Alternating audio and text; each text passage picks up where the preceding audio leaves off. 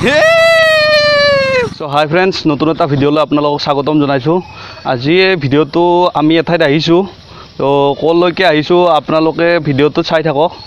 শেষলৈকে ভিডিঅ'টো চাব তেতিয়া আপোনালোকে জানিব পাৰিব আমি ক'ত আহিছোঁ। চ' নতুন এটা জেগা আপোনালোকক চিনাকি দিবৰ কাৰণে আহিছোঁ আজি।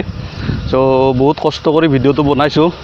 আপোনালোকে ভিডিঅ'টো নিশ্চয় চাব বুলি আশা ৰাখিলোঁ। তেনেহ'লে ব'লক ভিডিঅ'টো আৰম্ভ কৰোঁ। আপোনালোকক জনাওঁ যে আজি আমি আহিছোঁ নলবাৰী জিলাৰ চামতাৰ ভিতৰত থকা এখন মানে বিশেষ থানলৈকে। থান মানে এখন আশ্ৰম তালৈকে আহিছোঁ। ত' আপোনালোকক দেখাই আছোঁ মই সেই থানখনৰ। ত' আমি প্ৰথমৰ পৰা ভিডিঅ'টো আৰম্ভ কৰিছোঁ। আমি কেনেকৈ গৈছোঁ আপোনালোকক দেখাম। চ' আপোনালোকে চাই থাকক। চামতাৰ পৰা চামতাৰ মেইন ৰোডৰ পৰা অলপ ভিতৰত সোমাই আহিব লাগে। এইটো ৰাস্তাৰে। এইটো ৰাস্তাৰে সোমাই আহি পেলাই এইটো এটা সৰু ৰাস্তা হ'ব। এইফালেদি আপুনি এইটো লেফ্ট ছাইডে সোমাব লাগে। ইয়াতে আপোনালোকে দেখিবলৈ হ'ব এটা ডাঙৰ হাৰ গৰু আছে আৰু এইটো মন্দিৰ। তাৰপিছত আমি সোমাইছোঁ এটা সৰু ৰাস্তাৰে। ৰাস্তাটো দেখিছে আপোনালোকে জংঘলৰ মাজৰ ৰাস্তা। তো পকী নহয় ইয়াতে গৰু ছাগলী ঘাঁহ খাই আছে গৰুবিলাকে ঘাঁহ খাই আছে। এই ছাইডত দেখিছে এইফালে জংঘল সেইফালে জংঘল কিন্তু বৰ ধুনীয়া পৰিৱেশ গাঁৱৰ পৰিৱেশ অসমৰ গাঁৱৰ পৰিৱেশ। চাৰিওফালে গছ গছনি হাবি জংঘল এই ৰাস্তাত ছাগলী দেখিছে আপোনালোকে। এইবিলাক বগলী চব বগলী উৰি আছে বগলী। এই বগলী ছাগলীবিলাক আছে। তো মোৰ বন্ধু কুলদীপৰ সৈতে মই আহিছোঁ। ইয়াৰ লগত আহিছোঁ মই। মই ভালদৰে চিনি নাপাওঁ। সি দেখাই দিছে ৰাস্তাটো। এয়া চাওক ৰাস্তাত গৰুৰ গৰুৰ কাণত এইটো চাওক ইঞ্চুৰেঞ্চ লগোৱা আছে কিবা। কাণত ইঞ্চুৰেঞ্চ লগাই থৈ দিছে। মানে গৰুটো হেৰাই গ'লে মানে এই গৰুটো পইচা পাই যাব মালিকে। মানে আগতে নাছিল এতিয়া মানে এইটো ছিষ্টেম কৰিছে। যেনেকৈ মানুহৰ লাইচেঞ্চ মানে ইঞ্চুৰেঞ্চ কৰা থাকে ন তেনেকৈ গৰু ছাগলীও আজিকালি ইঞ্চুৰেঞ্চ কৰা হয়। মই বেছি বিশেষ নাজানো কিন্তু যিখিনি জানো সেইখিনি কৈছোঁ আপোনালোকক।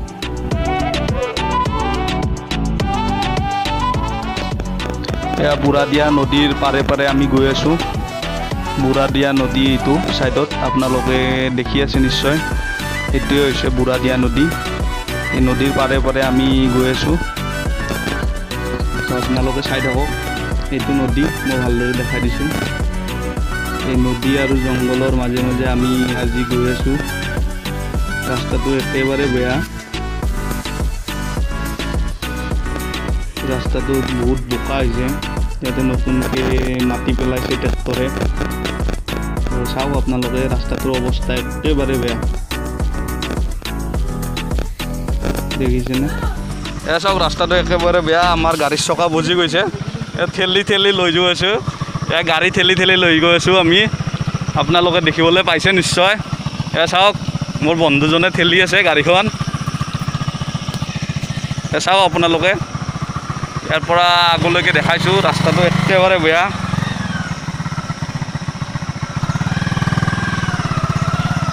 সি চলাই আছে মই ইয়াতে খোজকাঢ়ি গৈ আছোঁ।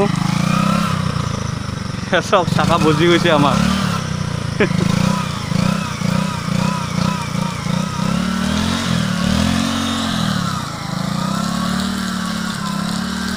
কুলদীপে এতিয়া হনুমান গেটত লগাই দিছে।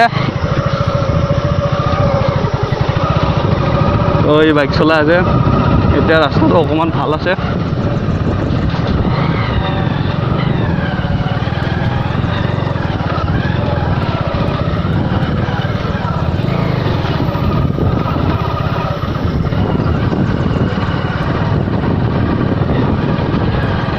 আমি গৈ আছোঁ। চ' ফাইনেলি আমি আহি পালোঁ। এইখনে হৈছে বাবা থান। আপোনালোকে দেখিবলৈ পাইছে নিশ্চয়। আমি আহি থাকোঁতে যিহেতু বোকা চোকা লাগিছে আমি হাত ভৰি ধুই লৈছোঁ। মই দমকল মাৰি আছোঁ। চাওক ফ্ৰেণ্ড এইখনে হৈছে আমনি ৰাজহুৱা শংকৰ আজান আশ্ৰম। আপোনালোকে যদি ইয়ালৈকে আহে মানে যদি বাৰিষা কালত আহে তেতিয়া মানে ইয়াতে বহুত বোকা পানী হৈ থাকে।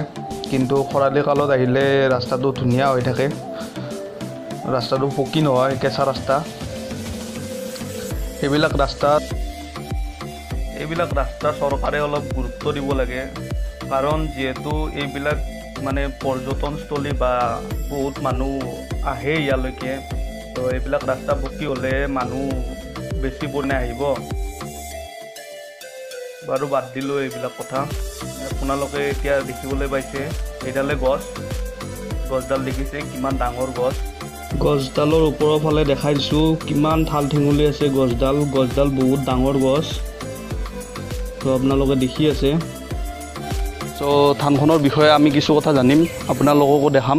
চ' মোৰ ওচৰতে দাদা এজন আছে তেখেতক সুধি লৈছোঁ এই থানখনৰ বিষয়ে কিছু কথা। চ' দাদা এইজন দেখিছে দাদা। চ' দাদাজনক সুধি লৈছোঁ এইখন থান কিমান পুৰণি বা থানখন কেতিয়া মানে স্থাপন কৰা হৈছিল? আপুনি তাৰ বিষয়ে কিছু জানেনে? কিছু কথা আমাক ক'ব মানে এশ বছৰৰ পাৰ হৈছে চনটো আছে গেটত। হয়। যে আমি শুনা মতে হয়। থানখন এজন লেংটা বাবা আৰম্ভ কৰিছে। হয়। বহুত বছৰ আগত আমি জন্ম হোৱাই নাই। হয় হয়। নহ'লে সেই বাবাজনে আৰম্ভণি কৰি এজন ব্ৰাহ্মণক গতাই দি থৈ গ'ল। হয়। সি এনেকৈ চলি চলি আহি আহি তিনিজন এনেকৈ গুচি গ'ল। হয়। এই তিনিজন এইজন এইজন যি বাবা আহিছে এতিয়া। বৰ্তমান হয়, হয়, এশ তিনি নম্বৰ। আমি এখেতক লগ পালোঁ। হয় হয়। আৰু ইয়াৰ কি মাহিত্য আছেই যোনে আমাৰ পুৰণা মানুহ সিহঁতে জানে। হয় হয়। আমি সিমান আৰু ধৰক গোটেইখিনি ক'ব নোৱাৰোঁ। হয়। কিন্তু সেইখিনি কথা আমি শুনা কথা দেউতাহঁতৰ মুখৰ পৰাই। হয়। যে থানখন এজন বাবা আহি ইয়াত আৰম্ভ কৰিছিল। প্ৰথম। তাৰে পিছত ব্ৰাহ্মণ এজনক দিলে। ব্ৰাহ্মণজনৰ পৰা এনেকৈ চলি চলি আমাৰ ৰাইজে ল'লে। লোৱাৰ পৰা এনেকৈ চলি চলি আহি আছে। হয় হয়। এই থানখন মানে মানে এই থানখনত কিবা কি কি কি উৎসৱ মানে কিবা উৎসৱ পালন কৰা হয়নে বা কি কি হোম হয়? কেতিয়া হয় হোমটো? হোমটো আপোনাৰ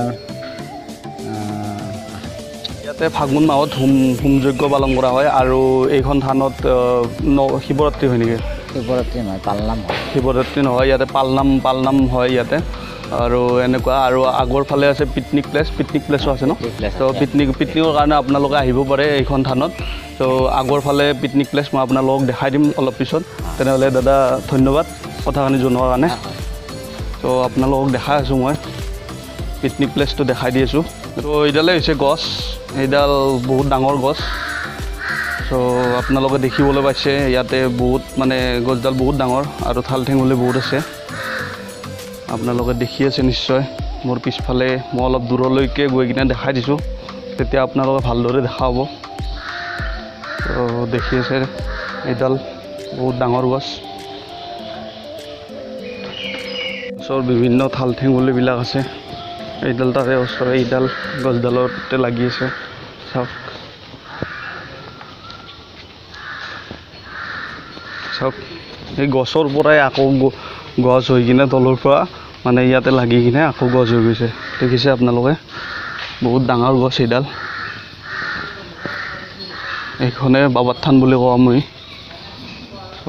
দেখি আছে নিশ্চয় আপোনালোকে। চাওক গছডাল কিমান বৃহৎ ডাঙৰ গছ।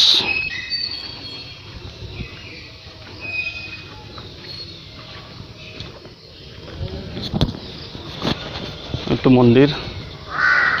মন্দিৰটো দেখিবলৈ পাইছে আপোনালোকে। এইটোৱে মন্দিৰ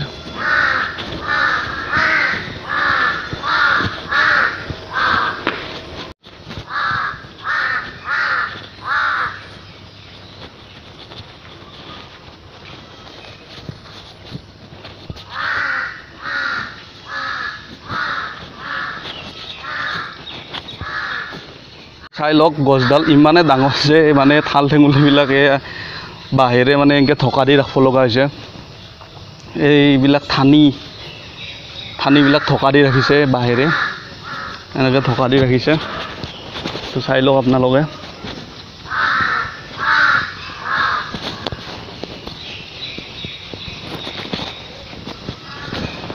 আৰু মই এটা বস্তু দেখাই আছোঁ আপোনালোকক।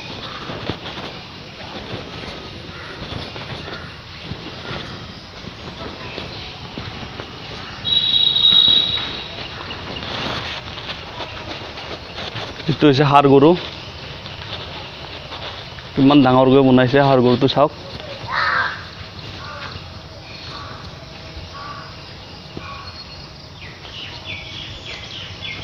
মই আপোনালোকক ঘূৰাই ঘূৰাই দেখাই দিছোঁ। চাওক ইমান ডাঙৰ সাৰ গৰু।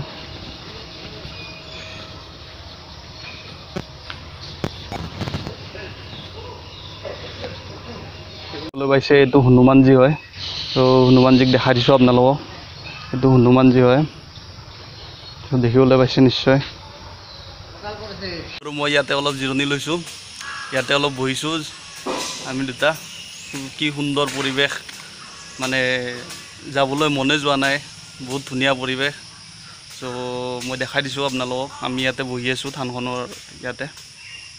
চাই লওক। পৰিৱেশটো বহুত ধুনীয়া পৰিৱেশ। কিন্তু ৰাস্তাটো সিমান ভাল নহয়।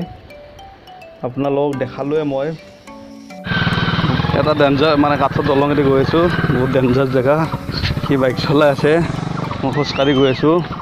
এয়া চাওক দলংখন বহুত হালধীয়া হৈ গৈছে। চাওক বহুত ডেঞ্জাৰ দলং